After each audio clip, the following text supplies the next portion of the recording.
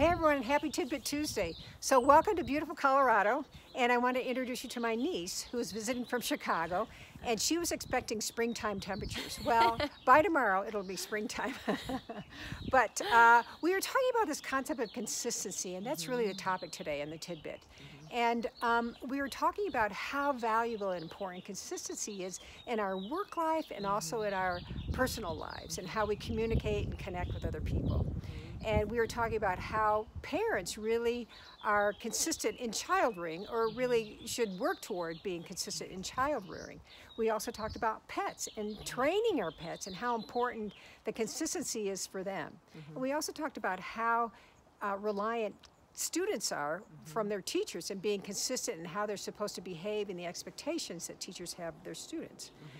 And so my question for Alicia is, what does consistency mean to you? And do you have any examples in your own life related to consistency and the power of it? Absolutely. So for me, it means establishment of patterns within our own lives, how we interact with other people and communicate. Um, a couple of examples I think about is the workplace um, specifically. We spend so much time at work and I am extremely fortunate to work with wonderful colleagues and administrators who value consistency um, in order to establish trust within our relationships throughout every single day. Yeah, yeah, that's awesome. We were also talking about how the impact of COVID has had on people's uh, consistency or the mm. lack of consistency.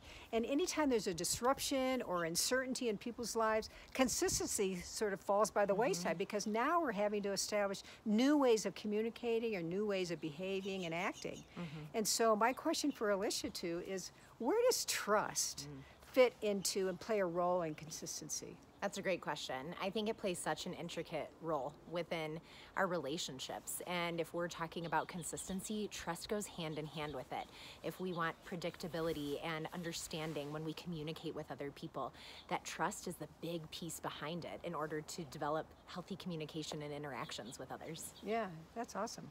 So the big question uh, to wrap this up is how do we return or recreate consistency in our businesses or in our relationships mm. so that it limits the surprises and uncertainty in our own lives? Yeah, that's a great question. I think everybody wonders about that too mm -hmm. because we're in a we're still in a place of uncertainty mm -hmm. and disruption. And so I think a good place to start is just to start.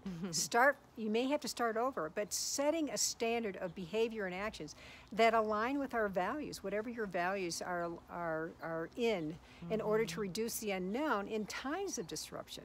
It's mm -hmm. important to return to a place of consistency so that our lives and connections with others remain strong mm -hmm. and resilient. So, hey, happy Tidbit Tuesday, and I'll see you next week. Bye.